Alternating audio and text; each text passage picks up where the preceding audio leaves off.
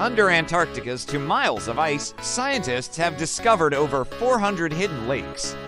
These lakes have been isolated from the rest of the world for millions of years. No sunlight, no air, just liquid water.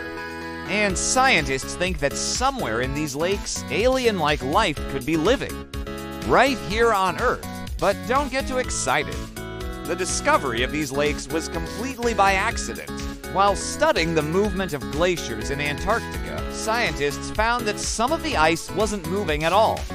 So they drilled down through the ice to see what was underneath, and to their surprise, they found water. And not just water, but 400 different lakes. These lakes are now considered to be some of the most extreme environments on Earth, if not the most extreme. And because they're so extreme, scientists think that life as we know it couldn't survive there. But maybe something that looks like this could. Maybe an entire ecosystem of alien like creatures has evolved in these lakes. And maybe, just maybe, they're waiting for us to find them.